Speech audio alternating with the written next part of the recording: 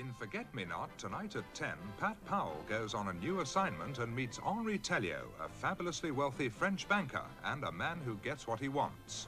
Hello? Hello. I'm Patricia Powell, journalist. I'm Henri Telliot. I'm a banker. Yes, I know. Yeah, I'm dining with him tonight. You're not. All right, I'm not, but I am. Why? I've never met an international banker before. I'd like to know what makes their praying beads click. Also, you might give me a tip on how to turn my meager capital into a safe and legal, tidy sum.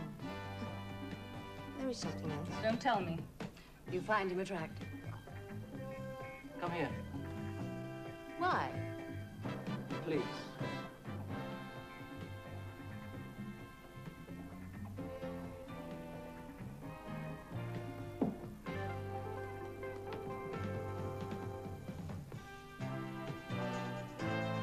Suave, sophisticated, and rich, Henri Telliot, the new man in Pat Powell's life in Forget Me Not, tonight at 10.